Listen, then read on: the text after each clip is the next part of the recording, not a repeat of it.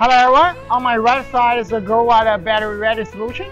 This one is a single phase TL XH2 2.5 to 6 kilowatt XH battery ready. And this one is mid 10 to 13 kilowatt of the TL3-XH. Bottom can work with the APX batteries. This one works APX S0 batteries and this one can work with APX S2 batteries, just like here.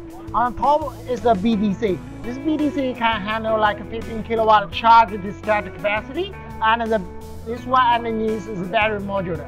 APX battery modular is each of them is the 5 kilowatt hour. Minimum you can only put one, maximum you can put six of them together, which give you like a 30 kilowatt hour of the battery capacity. And with mid XH, you can put two groups of the APX, uh, which means that you can have like a 60 kilowatt hour of the battery capacity. Definitely large enough for the small commercial size.